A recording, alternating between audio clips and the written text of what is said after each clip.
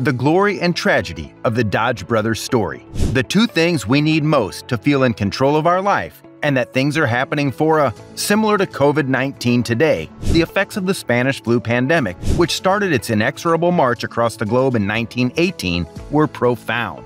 Both John and Horace Dodge became ill while attending the National Automobile Show in New York City in January 1920. Although there is still some disagreement regarding their condition, it was widely believed at the time that they had contracted the last wave of the horrific Spanish flu epidemic, which claimed more than 50 million lives worldwide. John, 55, succumbed to pneumonia just days after being unwell on January 14th like many COVID 19 victims, and passed away in his hotel room. Despite having cirrhosis of the liver, which was the official cause of death, Horace overcame influenza and pneumonia, but spent the most of a year in Florida nearly bedridden until passing away on December 10th at the age of 52. The passing of the Dodge brothers signaled the end of an era and shocked the U.S. automotive industry. Additionally, it put a halt to initiatives to transform the sector from manufacturing to sales and marketing. The brothers personified the American dream of achieving great wealth after starting out in poverty. They were hard drinking, rough and tumble blue collar workers from Niles, Michigan. Horace Elgin was born in 1868, whereas John Francis was born in 1864. Their father, grandfathers, and uncles all worked as mechanics. Both had a tendency toward mechanics. Horace gained a reputation for having a hair trigger temper, whereas John was a little more reserved. The red-headed Dodge lads worked as an unbreakable unit. Despite amassing enormous money, the brothers were never able to shed their harsh blue-collar habits. The Detroit Times gained a reputation as a brawler in 1910 after publishing a report on a bloody bar fight. In response, John Dodge first publicly apologized to the bar owner before paying for any damages. He afterwards made a threat to the proprietor of the newspaper. One time, after making fun of him for being unable to crank his Ford, Horace beat a man out cold in the street. The brothers were well known for speedboat racing and excessive drinking, while donning identically made suits throughout the Detroit area, as well as in Chicago and New York City. Despite being among the richest men in America, they were not allowed into Detroit's elite society. Horace erected a massive residence on the neighboring land, with a 12-car garage and a testing facility that fronted the Grosse Pointe Country Club after the country club refused to let him join. Additionally, they oversaw the construction of Symphony Hall and provided funding for the Detroit Symphony.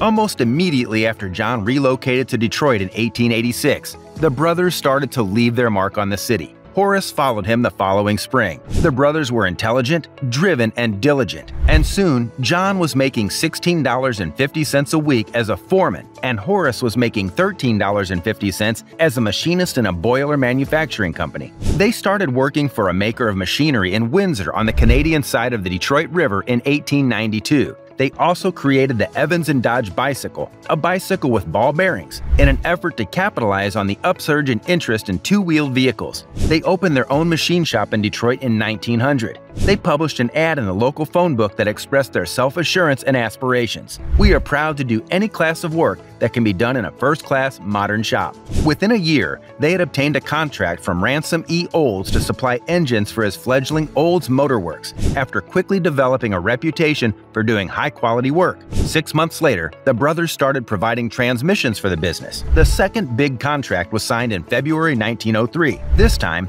Henry Ford was the client, and he hired them to produce the running gear for his upcoming Model A. The Dodge brothers had reservations going into the arrangement because this was Ford's third effort to start a car firm, and because he was known for being hounded by creditors. These reservations proved to be well-founded a few months later. Ford owed the brothers more than $7,000 when, in June 1903, they struck a deal that would alter both their lives and the future of the motor industry. In exchange for 10% of Ford Motor Company stock, they consented to wipe off past due payments and grant Ford an additional $3,000 in credit, with the remaining balance due in six months. The Dodge brothers nearly entirely worked for Ford for 10 years, and John Dodge accepted a position as vice president of the business. Their production facilities had reached capacity by 1910, so they established a sizable, cutting-edge factory complex in Hamtramck, a neighborhood around Detroit. The Dodge brothers were the top American provider of automotive parts and components by 1913, when they had 2,500 full-time workers.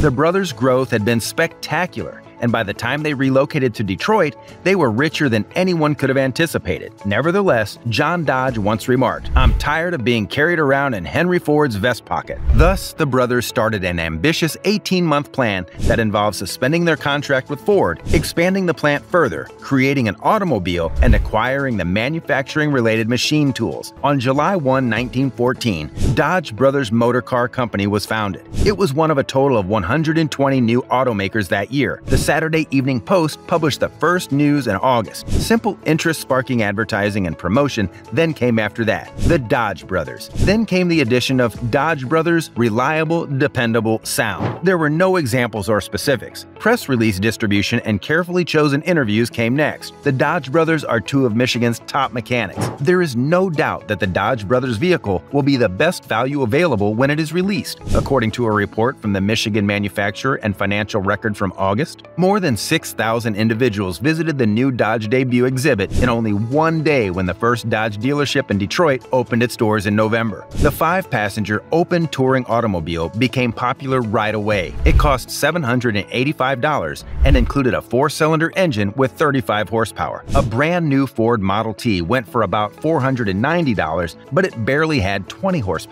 And unlike the Ford, the Dodge came with a 12 volt electrical system, a speedometer, and electric starter and lights as standard equipment. The cars were also the first to have a body made entirely of steel. All of the components for the new automobiles were produced by the Dodge brothers, excluding the bodywork, tires, glass, lights, and batteries. The Dodge brothers had entered a market that was incredibly cutthroat. According to a market analysis, vehicles priced between $676 and $775 made up 15.5% of the market in 1915 and 19.8% in 1916. In that limited price range, 15 manufacturers were in competition. The Dodge brothers didn't back down. They sold to close to 50 nations and focused on a wide range of commercial clients, including airlines, telecommunications firms, shipping lines, and taxicab franchises. The company started off with 5,000 employees but quickly expanded to more than 7,000. 17,000 men and women were employed by Dodge Brothers in Hamtramck by the middle of the year 1909. They were the only manufacturer, aside from Ford,